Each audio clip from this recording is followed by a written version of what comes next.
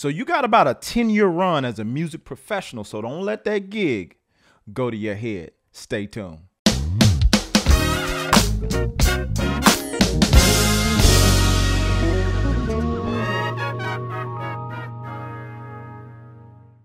So, welcome back to Grooves and Motivation. It's me again, Jermaine Morgan. Some of you, this might hit you right where you are. Others of you, you might be in a different place and you ain't even on any of that. But one of the things I've noticed in my years of doing this, and I've been doing this as a professional for nearly 20 years, been playing way longer than that. But as a professional, I've been seeing uh, some of the younger up and coming musicians kind of come into the game. And as they progress, I notice their demeanor changes. And don't get me wrong, there's nothing wrong with having confidence and knowing that you can deliver what you can deliver. But the thing that I've been seeing that's kind of rubbed me the wrong way uh, is the arrogance that I see from a lot of the younger cats. And it's not just younger musicians. Sometimes this cast has been out here in the game for a while. You know, it's a certain arrogance. And I always notice the cats who have so so-called arrived in a sense and they still walk with a certain level of humility and it's something to be said about that because once you start understanding that you're not in control of this thing. Now, you are in control of the decisions that you make,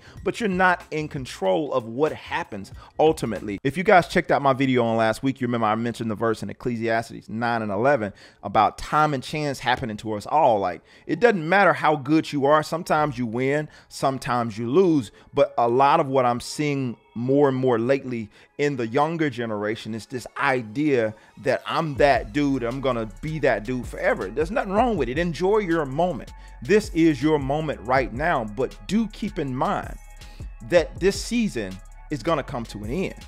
It's gonna come to it's inevitable. And I'll say, like I started this video with, you have a, maybe a good 10 year run as a musician, like just only on your skill, your talent alone, maybe 15, depending on how you play your cards, how you connect, how you make uh, good relationships, and all these different things. And I know what some of you guys are saying, Jermaine, I mean, I know this cat and I know that cat that's been working for 30, 40 years. You're absolutely right. But the cats that work on a certain level, unless you get locked into that because you got really really great relationships with this artist or this producer or this music director it's very rare that you're going to stay at the top over 10 to 15 years. Now, it does happen from time to time with a few people who learn how to move and to navigate. One of the things that I noticed with the musicians who stay at the top, they're not just musicians. They figured out ways to diversify, for lack of better words. They figured out ways to diversify their skills. Maybe they elevate up to a music director status. Maybe they elevate up to the point where they're arranging the show now, programming the show with Ableton. They're learning how to do the management on the road, that type of thing. They're learning how to run the stem a lot of different things that you can get into as a musician. And most of these cats aren't just showing up with their bass and playing the gig consistently killing because at some point, what I've noticed, people no longer care about your skill. There's always somebody else who can do the job. Sometimes who can do it better than you in terms of skill level wise, not necessarily integrity, not less, not necessarily your feel that you're going to bring to the gig, but somebody who can just come in there and kill the gig. So playing becomes irrelevant after a while. And every every now and again you'll have these artists who'll decide, you know, I want to switch it up. I want a different band. And it has nothing to do with your ability to deliver on the gig, has absolutely nothing to do with you showing up on time and making sure you've learned the music and doing all these things. You could be doing all the stuff right, dotting your I's, crossing your T's, but it just comes a time sometimes where these artists just decide, I don't want to do this anymore or I don't want to do this with you anymore. And you know what I'm saying? So now you have to rearrange your whole life. It could be a church situation where you're playing a really, really good church gig or you're playing a really, really good club gig. Anything could happen.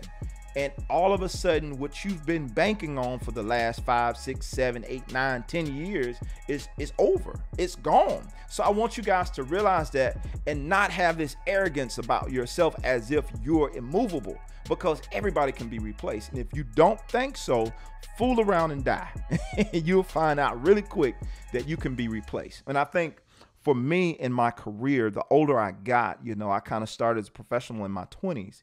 And the older I got, I started noticing how replaceable key people were. And it really bothered me. I'm like, now, if this person can be replaced, What does that say about me? I mean, this key person who's like in, in a lot of situations, these people kind of started the whole thing. And if they can be replaced, what does that say about me? A person who's like a side man, so to speak, a person who's like, uh, you know, a hireling. If I'm not the CEO and the CEO can be replaced, what does it say about me?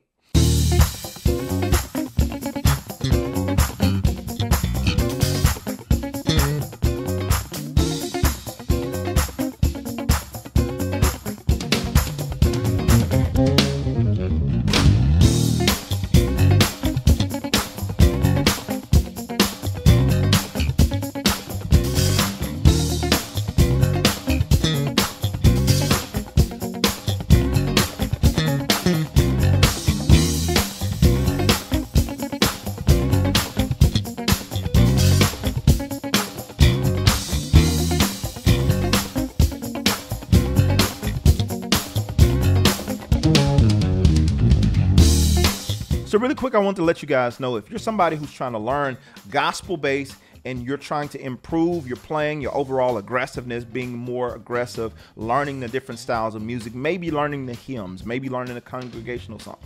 You might even be struggling with how to play shout music and all that kind of stuff. If you're somebody who struggles with these types of things, I want to help you and I want to help you to grow your skills as a bass player. Not only that, if you're struggling with coming up with licks and riffs and that, those types of things, I want to help you uh, figure it out. So I encourage you to check out the link in the description below or visit jermainemorgan.net and there i have a ton of lessons that you can uh, check out i have a ton of courses specifically geared towards bass players who are trying to improve in gospel and a ton of other areas but if that's where you need help let me help you by visiting jermainemorgan.net I wanted to put something on your mind today, whether you're young, whether you're old. I want you to think about the fact you have to diversify. You have to find other ways of making your skills valuable. Make yourself add value to that situation so that you're not a liability to the situation, but you're more so an asset. Now, when you become an asset, people are less likely to want to replace you because you bring so much to the table. So now it's time for you to start looking at what you offer, not to walk around arrogant, but to actually take a look at all the things you can do and all the things you can bring to that situation. And I also want to encourage some of you guys who are passive to start speaking up don't assume that people know who you are or know what you can do just because you know you can do it or just because a couple of handful of people know you're good at it. You can't expect for your homie or this person or that person to speak highly about your skills. Sometimes they will, sometimes they won't. Sometimes you'll find people who will uh, walk you in or who will talk you up and all this type of stuff. But ultimately, as a professional, you can't count on anybody else. And I hate to be the one to break that news to you, but you have to be the one who takes charge of what it is you're trying to do with your career and you're responsible for it. Because again, there's going to come a time where that phone stops ringing. I'm just telling you the truth. Unless you are driving unless you are making yourself valuable like uh, different things nowadays like making yourself visible on social media showing your value in more than one place not just posting on facebook not just posting on instagram but allowing a different audience of people to see who you are and what you offer. Sometimes your circle they've seen what you do and it's like they're okay he's cool uh, we like him but we want something different. So maybe you need to find a bigger circle find a, a, different group of people who you can share these set of skills with so that people can realize what it is you bring to the table and i talk about some of this in my book 10 ways to success for you guys uh, who want to check this out. I'll put the link in the description below so you can check this book out. Uh, but it'll give you some ideas of some things you can do, I believe, to diversify your skills as a musician so that you can have longevity. And instead of having 10 to 15 years, you can have 15, 20, 30, 40 years as a musician, but you're not putting all of your eggs in one basket. Before I go, there's this verse I want to leave with you guys Proverbs 16 and 3. Commit your works to the Lord, and your plans will be established. So, whatever it is you're trying to do, commit that to God. Work as if God Himself is the one you're going to present this thing to. And whatever you're trying to do, if you commit your work to God, your plans will be established. But if you leave him out of it, and then I don't know what kind of ending you're going to end up with. So I encourage you, if you don't have a relationship with Jesus Christ as your personal Savior, I encourage you to do that now. If you want to know more about it, send me a message at jermaine at jermainemorgan.net. I will be more than happy to talk to you about how to do that. And I know for some of you guys, you're like, wait a minute, what? Yeah, absolutely. I want to share with you uh, how you can him better and how he can help your whole career because it is no career without him involved in it. So remember, commit your works to the Lord and your plans will be established. Again, guys, this is Jermaine Morgan. I appreciate you for hanging out with me today. If you found this helpful, be sure to hit that like and share button. Also, if you're not a subscriber, be sure to hit that subscribe button. Turn on my bell notification so you know when I post stuff just like this. And also, you can catch me when I go live. I'm looking forward to talking to you guys again, and I'm out. Peace.